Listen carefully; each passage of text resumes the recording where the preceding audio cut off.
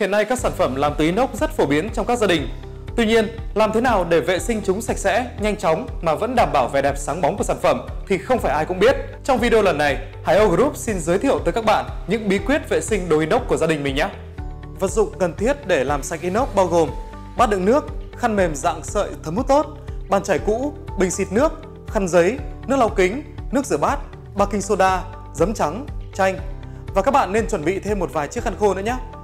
Các bạn lưu ý không nên sử dụng các vật dụng có chứa kim loại, ví dụ như ở đây là cọ sắt để cọ rửa thiết bị, tránh gây sức inox, tạo điều kiện cho vết bẩn bám sâu và làm mất độ sáng bóng. Cách đầu tiên mà Hoàng Thanh muốn giới thiệu đến các bạn cũng là cách đơn giản nhất, đó chính là làm sạch các thiết bị inox bằng nước ấm. Tuy nhiên thì với cách làm này chỉ được áp dụng với những loại vết bẩn đơn giản, không dính dầu mỡ. Chúng ta dùng nước ấm và lấy khăn mềm, thấm nước, lau đi lau lại một vài lần trên bề mặt inox sau khi lau xong thì chúng ta dùng khăn khô lau sạch nước còn sót lại trên bề mặt.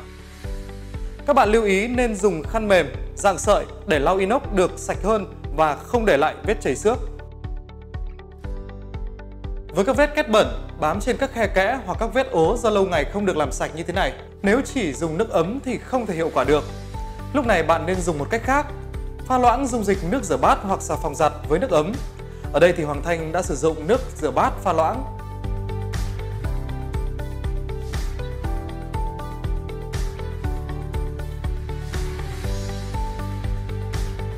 Chúng ta hòa tan hỗn hợp nước rửa bát vào nước ấm.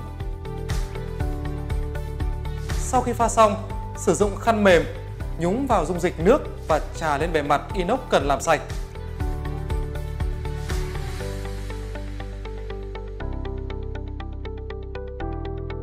Trà qua trà lại để vết bẩn có thời gian được làm sạch.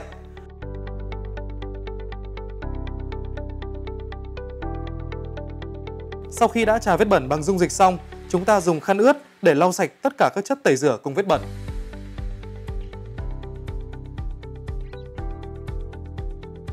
Hãy thực hiện việc này một cách cẩn thận để có thể loại bỏ hết những vết bẩn và cả mùi của chất tẩy rửa nhé. Một số inox xuất hiện vết vân tay bởi hơi nước, sáng bóng không đều. Với trường hợp này thì chúng ta sử dụng nước lau kính để làm sạch inox. Giống như kính, bên cạnh những ưu điểm như sáng bóng, dễ lau chùi, tính chịu lực và chịu nhiệt cao thì nhược điểm của bề mặt inox là dễ bám dính dấu vân tay khi chạm vào. Để khắc phục điều này thì chúng ta dùng nước lau kính xịt thẳng vào vết bẩn rồi lấy khăn lau vài lần là thấy ngay tác dụng. Sau đó bạn dùng khăn ẩm lau lại cho sạch nước lau kính để không bị rít.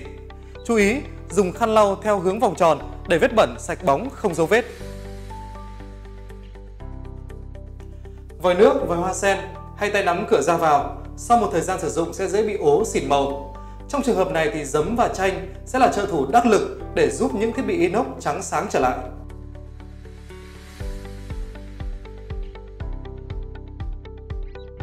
Bạn cắt đôi quả chanh và trà lên bề mặt inox cần xử lý. Để khoảng từ 5 đến 10 phút và rửa lại bằng nước sạch.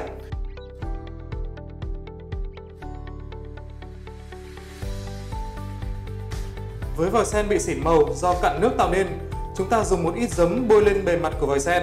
Lưu ý, bôi giấm vào những kẽ sâu để giấm có thể tiếp xúc được hết bề mặt thiết bị.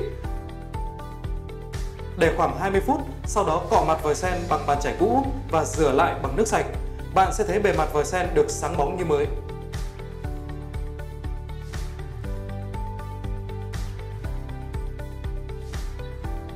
Bồn rửa bát là nơi thường xuyên phải tiếp xúc với dầu mỡ khi nấu nướng lâu ngày sẽ tạo nên những vết kết bám có mùi hôi và để lâu thì sẽ rất khó vệ sinh.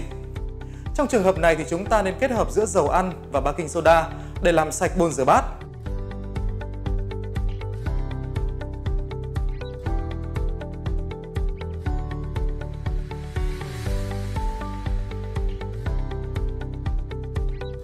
Trước hết chúng ta dùng dầu ăn pha với baking soda tạo thành một hỗn hợp có độ sệt, bôi lên những vị trí có vết bẩn sau đó dùng bàn chải lông mềm trà sát vài lần và dùng khăn mềm thấm nước lau lại cho sạch.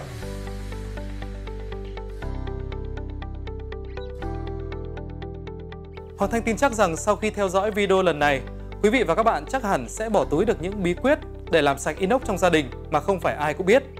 Xin cảm ơn quý vị và các bạn đã quan tâm theo dõi và hẹn gặp lại quý vị vào những video lần sau của Hải Âu Group.